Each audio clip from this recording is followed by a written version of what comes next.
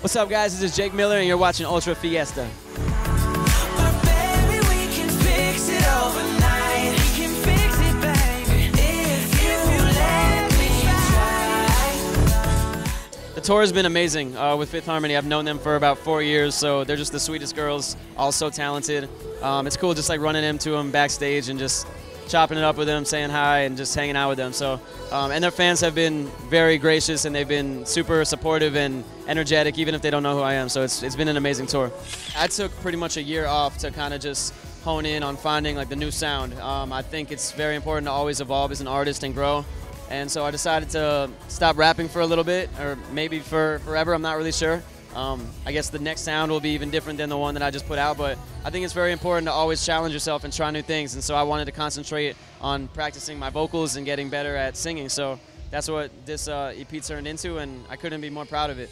I'm not doing any official music videos right now. I'm doing like little 30 second like trailers for each song, um, and just dropping them like every few days just to kind of get the, the fans hyped and get them to hear the songs if they haven't already. Let me be the one to break your rules. If that's the way you feel, then why keep running? I know you love it. That night that I opened for Snoop, that was my first show ever, and uh, I was so nervous, and I didn't have much confidence. So looking back, I would kind of just give him a little, give that 18-year-old version of me a little pep talk, and uh, just tell him that everything's gonna work out. Because back then it didn't seem like everything was gonna work out. Back then it seemed like a lot of kids were making fun of me, and I didn't have too many people in my corner. And now I have millions of people in my corner, and it feels amazing. So I would just tell that 18-year-old version of me to hang on a little bit longer and keep going.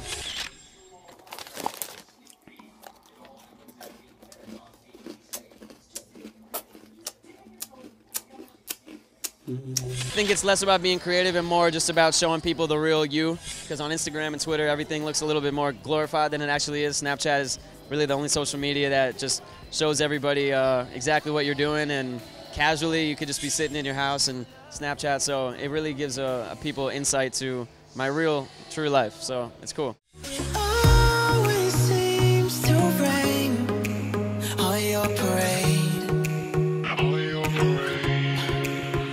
I'm going to be promoting this music after this Fifth Harmony tour. We're going to start planning a headlining tour. Maybe we'll call it the overnight tour and go across the country again and tour it. Shout out to my Millertary. Shout out to Ultra Fiesta. It's Jake Miller. Thank you guys so much for rocking with me. And go get Overnight on iTunes, Spotify, wherever you want to get it. Love you guys.